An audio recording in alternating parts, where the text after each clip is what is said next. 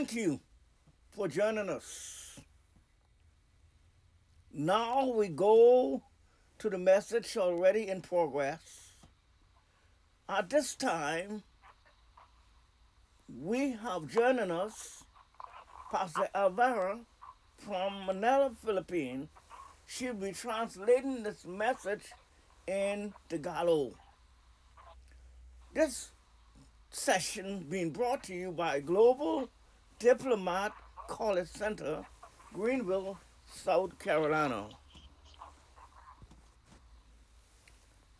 I want to focus. Nais kong tuunan. What I believe ang aking pinaninimulaan will be the keys na siyang magiging mga susi for kingdom living sa pamumuhay sa kaharian on earth. dito sa lupa.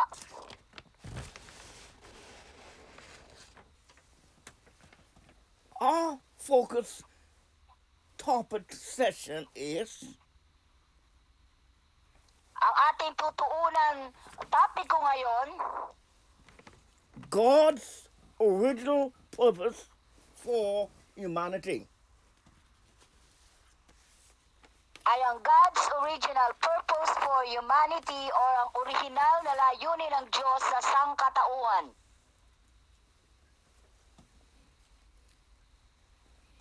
God, Elohim,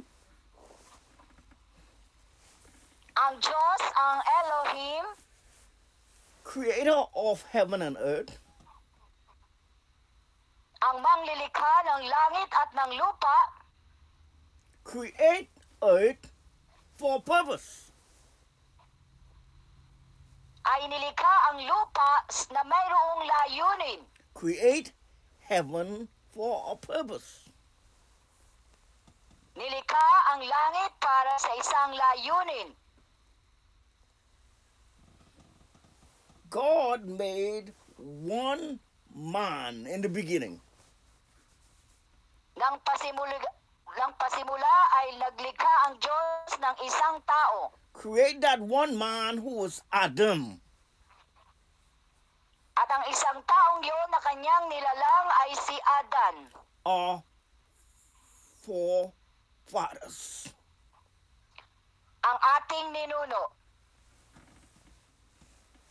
Today, 2020,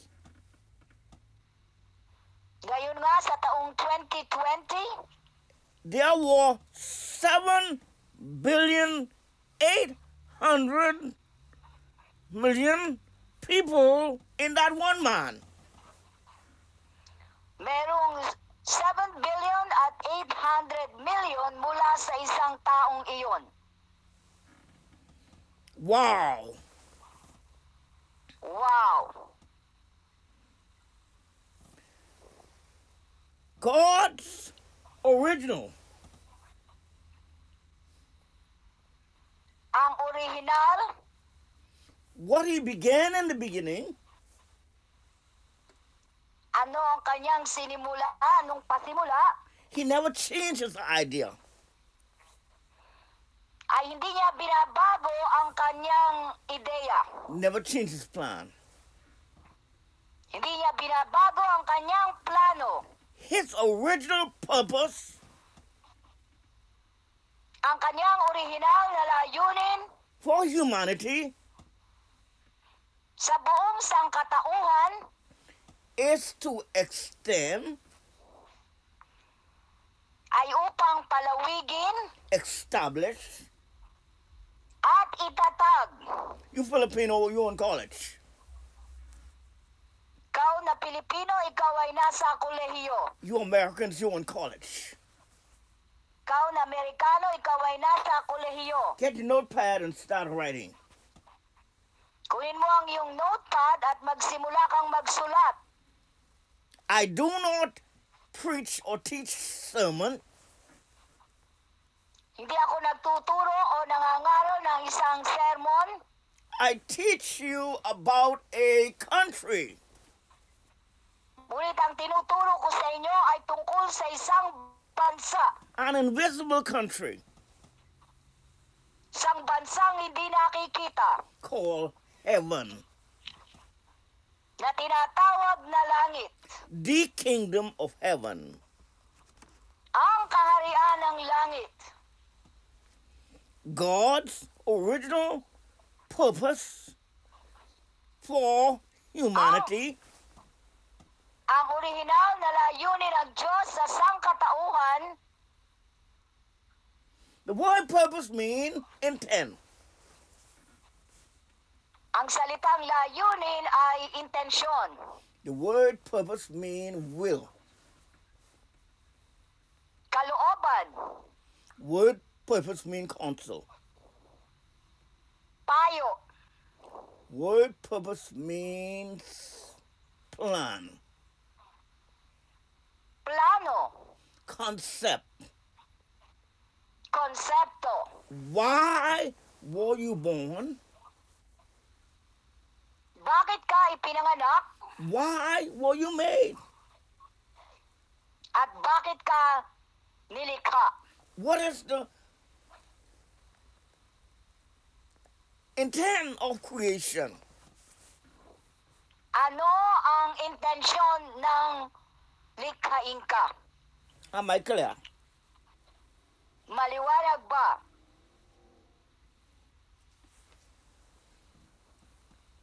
The word humanity Ang salitang sangkatauhan means human ay race. ibig sabihin Means human race. Na lipi ng tao, Human being. sangkatauhan. The word humus is dust. Ang ibig sabihin ng salitang humus The word ay alikabok. being is living spirit.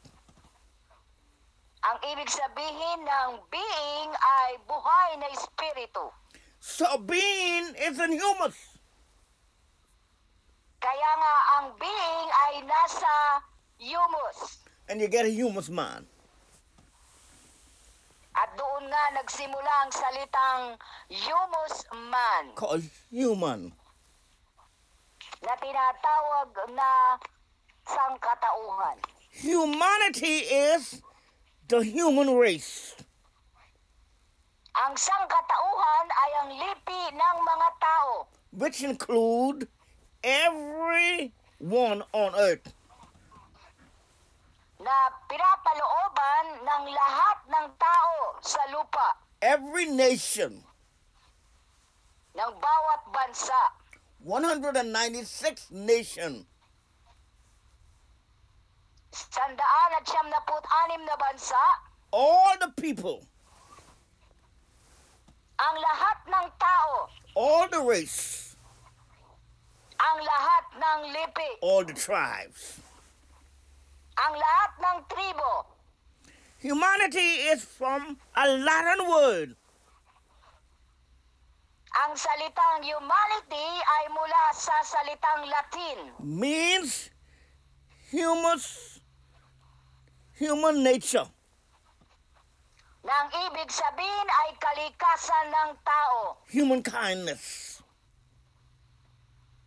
Uri ng tao, The kindness and feeling human have for each other. na uri ng damdamin na mayroon ng tao sa bawat isa sa kanila.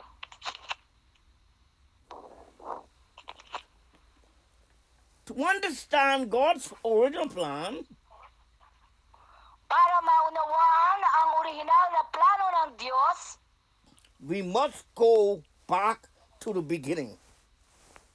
kailangan bumalik tayo sa simula. God, who is king, Ang Diyos na isang hari, lift up your heads, O gates, be lifted up your everlasting door. Let the King of glory come on in. taas ninyo ang inyong mga ulo, taas ninyo ang inyong mga pintuan daan at papasukin ang hari ng kalwalhatian. God is king, Ang Diyos ay hari share his dominion with humans. Ah, at ibinahagi niya ang kanyang kapamahalaan sa sangkatauhan his sons and daughters. sa kanyang mga anak na babae at anak na lalaki. Let me show you that. Pakita ko sa inyo ang bagay na ito. Am I clear? Maliwanag ba? Genesis 1 26 27.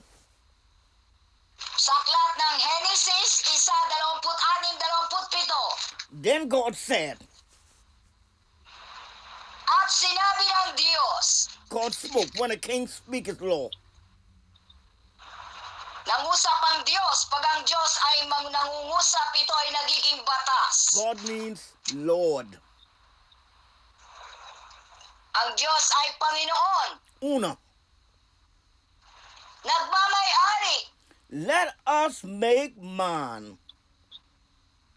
Lalangin natin ang tao. Let us make humans. Lalangin natin ang isang tao. Human race.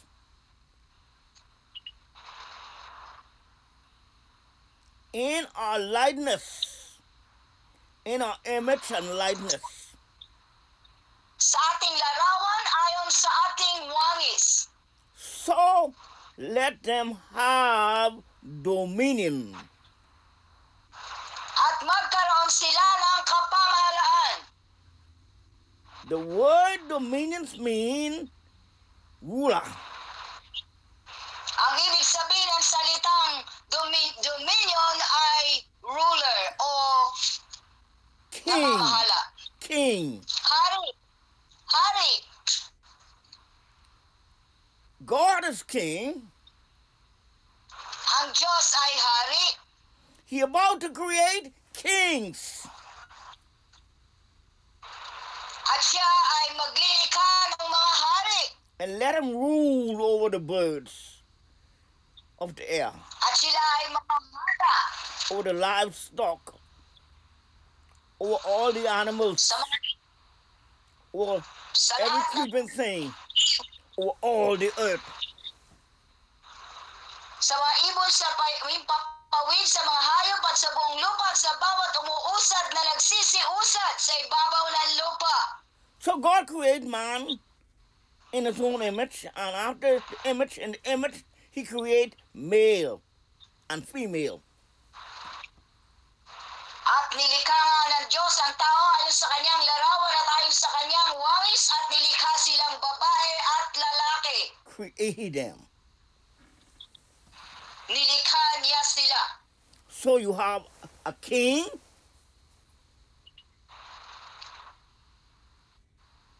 and a priest. Sila ay nilikhang hari at saserdote. Adam was a king Si Adan ay hari and a priest. at isang saserdote.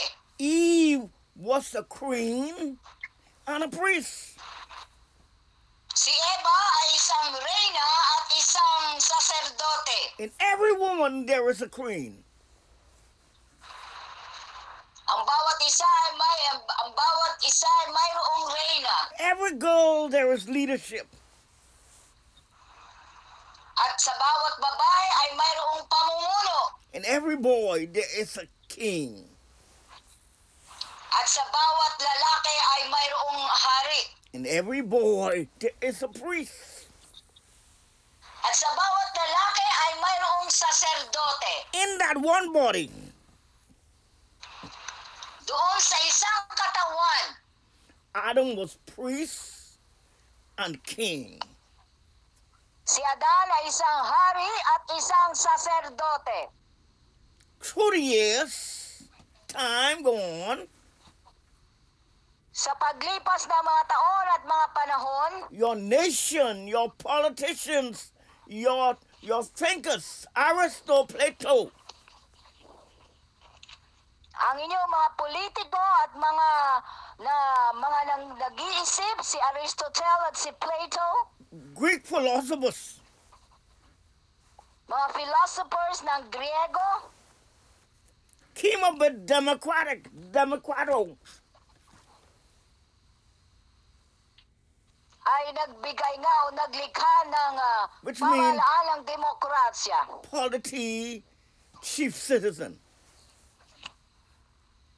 Nang ibig sabihin ay politiko o po- polity at mga mamamayan. And many of these countries, especially America, United States of America, Lalong-lalo na ang Estados Unidos ng Amerika. But out of the room, woman, woman ideology, ay mula sa ah, ideolohiya ng Romano at Griego. European philosophy, Mga filosofiya ng Europa, they say sinasabi nila that the church and state is separate. ang iglesia at ang estado ay hiwalay. That means the politics and the church is separate. Ibig sabihin ang politiko at ang iglesia ay hiwalay. Adam, the church was in Adam, and the politics. Ang iglesia at ang politiko o estado ay nakay Adan. The king and priest Siya isang hari at isang saserdote was in Adam. ay nakay Adam. Adam sinned against a nation. Si Adan ay nagkasala laban sa isang bansa. lost his priesthood. At nawala sa kanya ang pagiging saserdote. lost his kingship to an unemployed cherub.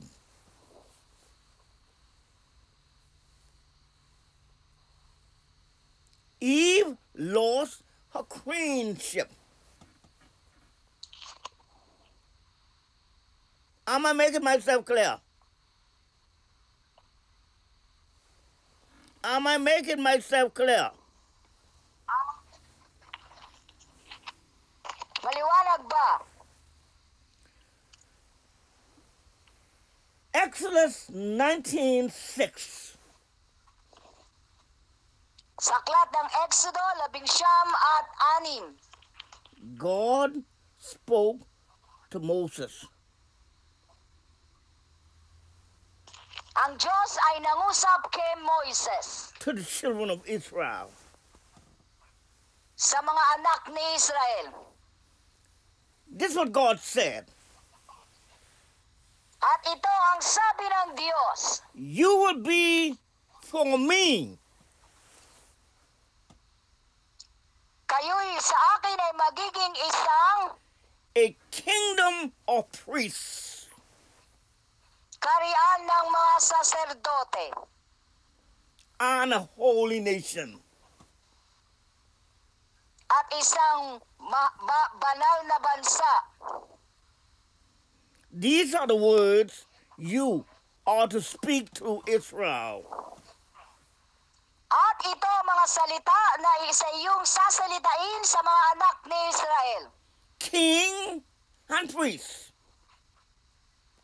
Hari at saserdote. I want to clarify the difference. A Nais kong liwanagin ang kaibahan. pastor get your notepad and begin to write. Mga pastor, kunin mo ang iyong notepad at magsimula kang sumulat. This may be your next Sunday sermon. Maaaring ito ang, mga, ang susunod mong maging sermon sa linggo. I know you get sermons from the Diplomat College Center. Alam kong may meron kayong mga sermon mula sa Diplomat I know you Center. steal the titles that is being produced. Alam namin na kinukuha ninyo ang mga turo na aming pinuproduce. But I'm glad that the kingdom of God has been preached. Ngunit kami natutuwa na ang karang Ibanghelyo ng Karian ng Langit ay naipangangaral. Now I will explain a king and a priest. Ngayon ipapaliwanag ko ang tungkol sa kaharian ng mga saserdote. The word king means ruler. Ang ibig sabihin ng isang hari ay ruler o namumuno. A king gives you your rights. Binibigay ng hari sa iyo ang iyong karapatan. A king exercises his authority and power.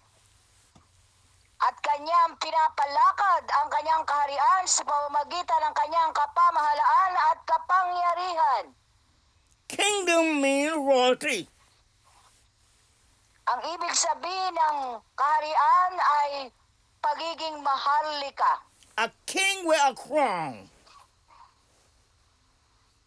Sila ay hari na mayroong mga korona.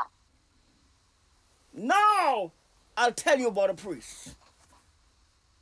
Ngayon ay sasabihin ko sa inyo ang tungkol sa saserdote. But I want to say this about a king. A king is a representative of God on earth. Ang isang saserdote ay kumakatawan sa Diyos God dito sa lupa. his kingdom on earth. Siya ang kumakatawan dito sa lupa. Now, explain a priest. Ngayon ay papaliwanag ko ang isang saserdote. A priest is means he established right relationship. Ang saserdote ay nagtatatag ng matuwid na relasyon The spiritual leader of your home. sa isang espiritual na namumuno sa inyong tahanan. He deals with righteousness. Ang kanyang tinutupad ay ang katwiran. Spiritual laws. Mga espiritual na kautusan. moral and good standard. Kagandahang asal at pamantayan. So you are a king Kaya ikaw ay isang hari and a priest. At isang saserdote. There are seven billion eight hundred million priests and kings on the earth. Merong pitong milyon at wal, pitong bilyon at walong daang milyong tao na mga Wow. hari dito sa lupa. I want Wow! to address another issue. Aking tatalakayin pa ang iba pang issues. In many nations, they speak about racism. Sa maraming bansa, ang pinag-uusapan nila ang tungkol sa racism. The black against the white, the white lahi. against the black. Ang mga black laban sa mga puti at ang mga puti laban sa mga The nationality blacks. against nationality. Nasyonalidad laban sa nasyonalidad. No, the only God only create one race. Ngunit naglikha lamang ang tao ng isang lipi. And that's the human race. At yon ay ang lipi ng sangkatauhan. Let me show you. Pakikita ko sa inyo. Acts 17, 26. Sa aklat ng mga gawa, labimpito at dalawamput anim. God has made of one blood Naglikha lamang ang Diyos mula sa isang dugo. all people ng lahat ng mga tao. One blood God made man, all people of the earth. Mula, mula sa isang dugo ay nilikha ng Diyos ang bawat bansa. The same blood in the white and the black. Yung parehong dugo mula sa mga puti at mula sa mga itim. All human beings have the same blood. Ang bawat tao ay mayroon lamang isang dugo, parehong dugo. So there was only one race. Kaya meron lang isang lahi. When Adam sinned, that blood became contaminated. Ngunit nang nagkasala si Adan, ang dugong iyon ay nakontamina. Adam could not save himself. Hindi maililigtas ni Adan ang kanyang sarili. So God had a purpose. Kaya ang Diyos ay may layunin. His purpose was 400 years after Adam sinned. Ang kanyang layunin ay pagkatapos ng apat na libong taon. From BC to AD, Mula BC hanggang AD. the next stage John the Baptist prophet.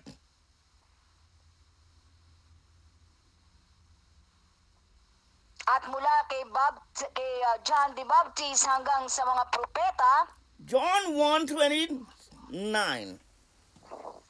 sa aklat ni Juan, isa at dalawamput siyam. Next day John the Baptist Ito ay si Juan Bautista. saw Jesus coming towards him.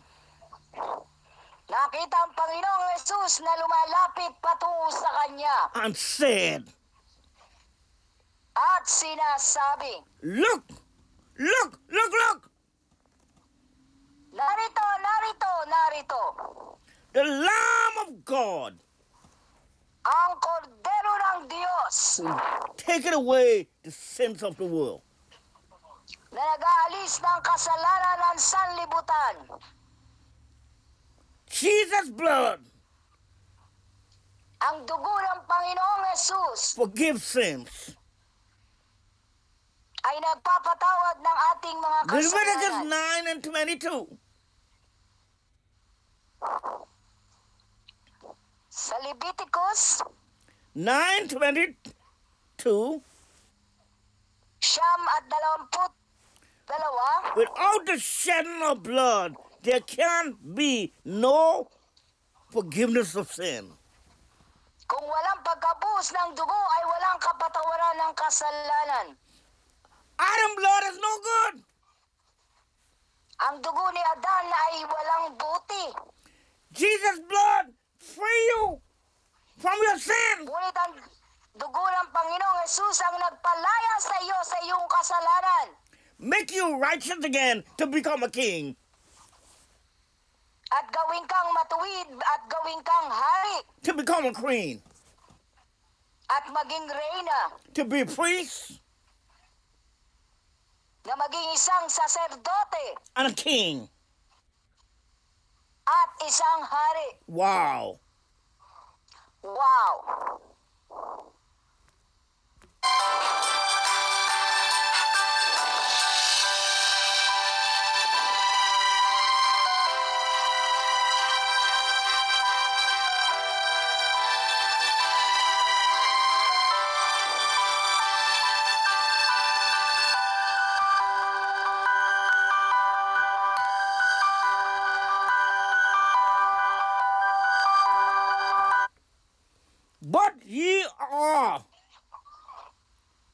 Chosen people. Ngunit ikaw ay bayang pinili. First Peter 2 9. Uno Pedro uno, uno at dalawamput. You're chosen.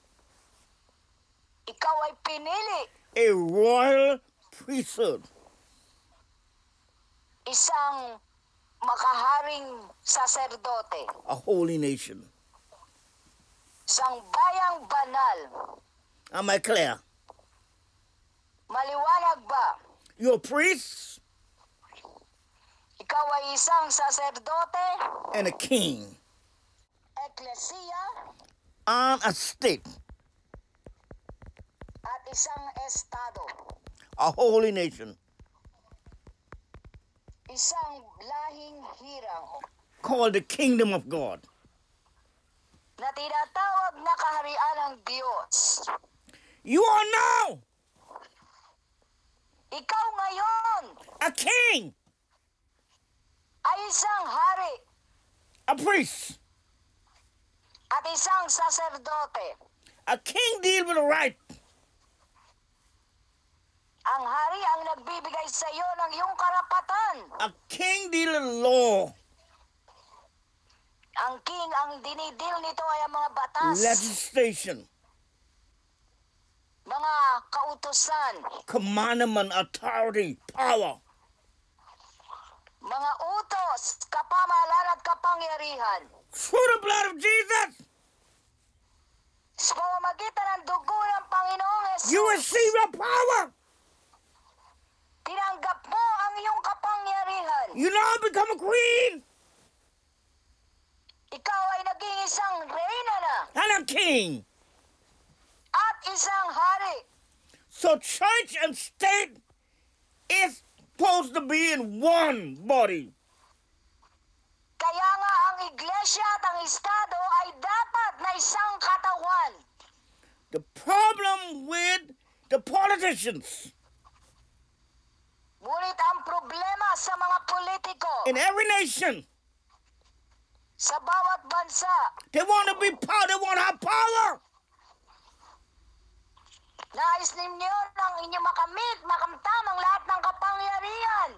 But power goes along with priests. Ngunit ang kapangyarihan ay dapat sinasaman ng pagiging To be a president, you must be a priest and a king. Para ma- maging isang pangulo, kailangan maging isang saserdote ka. Jesus Christ was a priest and a king. Ang Panginoong Jesus ay isang saserdote at isang hari. Revelation 5 5. Sa aklat ng pahayag, lima at lima. Weep not. Behold, the lion from the tribe of Judah. Huwag kang umiyak, narito ang leon sa angkan ni Huda, the root of David. Ang ugat ni David. He is worthy to open the scroll and the seal. Siya ay karapat-dapat na magbukas. ng- He's a lamb and a lion. Siya ay tupa at isang leon. You are a lamb and a lion. Ikaw ay isang tupa at isang leon. Wow! Wow! Priest and a king. Hari at saserdote. You who kingdom citizen need to be prime minister, presidents. Kau na, mga, na isang mamamayan ng kaharian ng langit, kailangan maging pangulo ka at prime minister. You need to run the devil out those offices. They have power. Power without being a priest is no good. Kailangan tanggalin mo sila diyan sa pamahalaan sapagkat ang isang taong may kapangyarihan at walang saserdote ay mapanganib. Power without righteousness and relationship with God is no good. Ang isang kapangyarihan na walang katuwiran ng Diyos at matuwid na relasyon sa Diyos ay hindi maganda. I'll give you email. Bigyan ko kayo ng email. Just came in from heaven. Ito ay nagmula sa langit. I open it Akin itong bubuksan and from Jesus Christ, at mula sa Panginoong Yesu the Kristo. faithful witness, Ang tapat na saksi the first begotten from the dead, na pangaray sa mga patay. who love us and wash us in our own uh, in His own blood. Pangulo ng mga hari sa lupa doon sa umibig sa atin at nagkalag sa atin sa ating mga kasalanan. Who love us and wash us in His own blood, Na tayo'y inibig at hinugasan ng kanyang banal na and dugo. made us priests and king. At ginawa tayong mga kaharian at mga saserdote. If you want to run for politics, go ahead. Kung ikaw ay tatakbo sa politika, humayo ka. I'll back you. Kami ay nasa likod mo lang. I'll stand before you. Ako ay nasa likuran mo I lamang. will give you my support. Bibigay ko sa iyo ang aking suporta. Because God is reestablishing king and priest back to the earth. Sapagkat itinatatag ng Diyos ang mga hari at mga saserdote muli sa lupa. Made them king and priest, and we shall reign on the earth. Sila'y ginawang mga kaharian ng mga saserdote at sila'y maghahari sa lupa. Now, you women who looking for husband, he must Kayo become a priest and a king. Na umahanap ng inyong asawang lalaki, kailangan siya ay isang hari at saserdote. You brothers Diyos. looking for wife, they got to become a queen and a priest. Ikaw na lalaki na umahanap ng asawang babae, kailangan siya ay reyna at saserdote ng Diyos. They got to have power and relationship. Kailangan mayroon siyang kapangyarihan at relasyon sa Diyos. They got to be washed in the blood and get a Holy Ghost. Kailangan siya ay binugasan ng dugo ng Panginoong Yesus at mayroong They got to be the espiritu. family. Kailangan siya ay maging saserdote ng kanyang pamilya. We being deceived. Tayo ay nadaya. We go by Aristide and Plato. Tayo ay lumalakad ng naaayon sa ideya ni Aristotle at ni Plato. Dead man from the grave established these constitutions. Mga patay na tao mula sa libingan na nagtatatag ng kanilang konsepto at konstitusyon. We need to take up a new constitution of the Bible. Kailangan kunin natin ang saligang batas mula sa Biblia. A living king Buhay na bagay who rose from the dead. na, na, na oh, bumalik muli sa mga patay. That can't stop kingdom citizen nor believers. Hindi nila kayang pigilan ang isang mamamayan ng karyan ng langit o ng are isang king and a priest. Para maging isang makuha ang pagiging hari at pagiging saserdote. I'm make myself clear. Maliwanag ba? You go to Mama Susu to read your palm. Ah, pumunta ka doon sa, pumupunta kayo kay Mama Suzu at binabasa ang inyong mga palad. You go to Mama. Mary to read your palm. Pumupunta kayo kay Mama Mary para basahin ang inyong mga palad. She don't represent God. Hindi niya kinakatawan ng Diyos. There is one media between man and God. Mayroon lang isang tagapamagitan sa Diyos at That's sa the man tao. Jesus Christ, Yun ay ang taong si Yesu the Kristo. king and the priest, Isang hari at isang saserdote. the everlasting Father, Ang walang hanggang Ama. the mighty God, Ang makapangyarihang the Diyos. counselor. Ang tagapayo. I am not a Christian. Hindi ako Kristiyano. Christian is a nickname from pagan. Ang Kristiyano ay tinawag sa bansag na pangalan sa mga... I am a king of the earth Ako ay hari dito sa lupa and priest, at isang saserdote representing God on the earth. na kumakatawan sa Diyos dito sa lupa. You men, get down on your knees. Start praying for your family. Ikaw ay lumuhod at ipanalangin mo ang iyong pamilya. Start living righteous before your son and daughters. Magsimula kang mamuhay ng matuwid sa harapan ng iyong mga anak na babae at lalaki. Take the authority and the responsibility of your family. Kunin mo ang iyong otoridad at responsa responsibilidad sa iyong pamilya. Receive the power of God.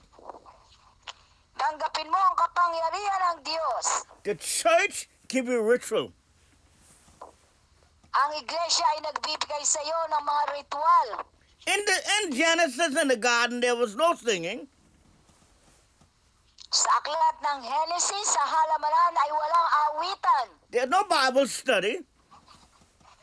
walang Bible study, There were no praise and worship. Walang praise and worship. All it was God, Adam, the Holy Ghost. Ang nandun lang ay si Adan, ang Diyos at ang banal na Espiritu. Eve, and God said it is very good. At si Eva, at sabi ng Diyos, yaon nga ay napakabuti. Adam was a king Si Adan ay isang hari and a priest. at isang saserdote. God, the original plan, that's why you were created. Yun ang orihinal na plano kaya ikaw ay nilikha. You're not created to be a Baptist, Hindi ka nilikha upang maging Baptist lang. No Catholic, o maging isang Katoliko lang. No seven day, o miyembro ng Seventh-day no Jehovah's Witness, o isang Jehovah's Witnesses. No Mormon, o isang Mormon. No Church of the Latter day Saints. O miyembro ng Church of the Latter-day Saints. God know nothing about that religions. Ang Diyos ay winang, walang kinalaman sa mga ganoong relihiyon o denominasyon. said you're royal priesthood. Ang sabi niya, ikaw ay makaharing saserdote, holy nation. banal na bansa, A king isang hari and a priest. at isang saserdote. Jesus was a king Si Jesus ay isang and a priest. at isang saserdote. Do you know John the Baptist was a king and a priest? Alam niyo, si Juan Bautista isang hari at isang saserdote. John the Baptist was Jesus' pastor. Ang isang na, na si Juan Bautista ay pastor ng Panginoong Jesus. Baptized him in the River Jordan. Na siya ay binautismohan sa River Jordan. The prophet represented a kingly anointing. Ang mga propeta ay kumakatawan sa mga sa kingly anointing. In every prophet there is a king. Sa bawat propeta ay mayroong hari. In every prophet there's a priest. At sa bawat propeta ay mayroong saserdote. The woman said to the well, I perceive your prophet. Sinabi ng babae doon sa well na isya, aking napagtatanto na ikaw ay isang propeta. It is the prophets that anoint a king. Ang mga propeta nga naglalahid ng Espiritu sa mga hari. Your king, Ikaw ay hari priest at isang saserdote unto God. sa, para sa I'll Diyos. tell you more about God's original plan for humanity in next session. Pagpapatuloy ko ito sa susunod na session.